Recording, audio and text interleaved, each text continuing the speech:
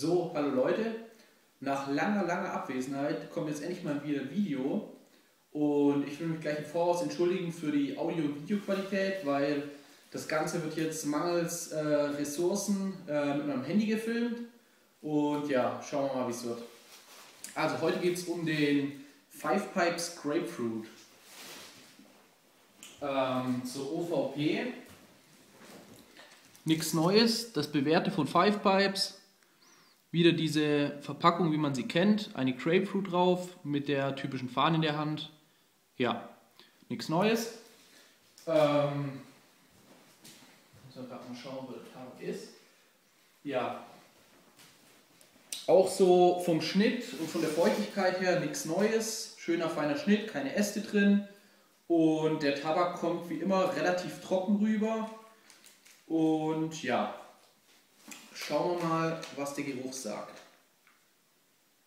Ja, also der Tabak riecht wirklich sehr lecker.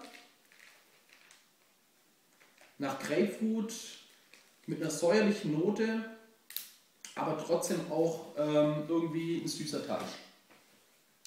Ja, das Setup heute eigentlich wie immer. Die NPS, ähm, dann haben wir den Hotshot drauf, circa 6 Gramm von dem Tabak drin, zwei halbe Cocopricos, und den King XL Schlauch.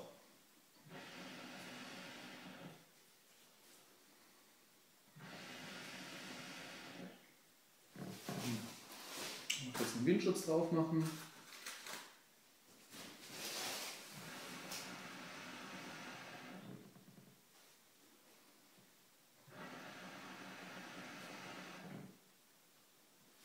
Also was ich bei dem Tabak jetzt schon, ich habe den jetzt schon ein paar Mal geraucht, und was mir aufgefallen ist, dass der mir relativ, also nach relativ kurzer Zeit ähm, im Kopf steigt und dass sich bei mir nach relativ schneller Zeit schon dreht.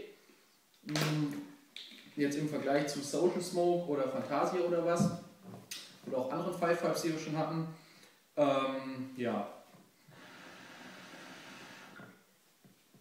Ansonsten kann man zum Geschmack sagen, ähm, der gefällt mir wirklich sehr gut. Es erinnert irgendwie an so hat was von Brause.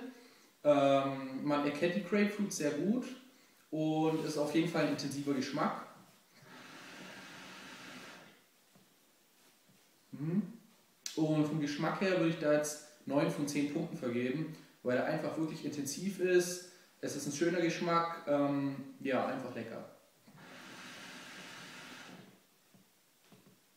Und auf dem Rauch her wird man da vom Five Guys mal wieder nicht enttäuscht trotzdem der Tabak relativ trocken rüberkommt, äh, man bekommt für sein Geld einfach relativ viel Tabak, man, der ist unangefeuchtet und man kann ihn einfach so rauchen.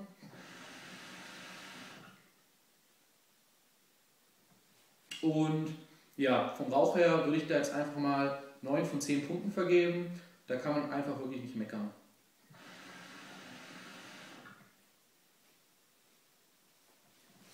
Ja, Ansonsten äh, kann ich sagen, dass der Tabak mir vom Geschmack her deutlich besser gefällt als der von Fantasia, der Pink Grapefruit.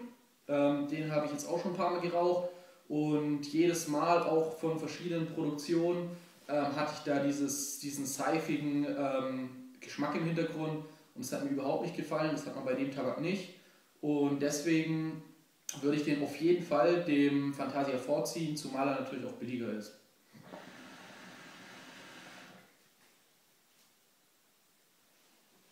Ja, ähm, abschließend kann man eigentlich sagen, dass der Tabak von mir eine Kaufempfehlung bekommt, auf jeden Fall.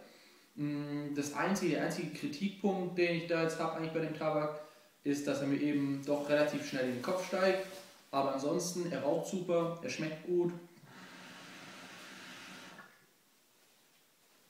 Und ja, von dem her eine volle Kaufempfehlung von mir für den Tabak.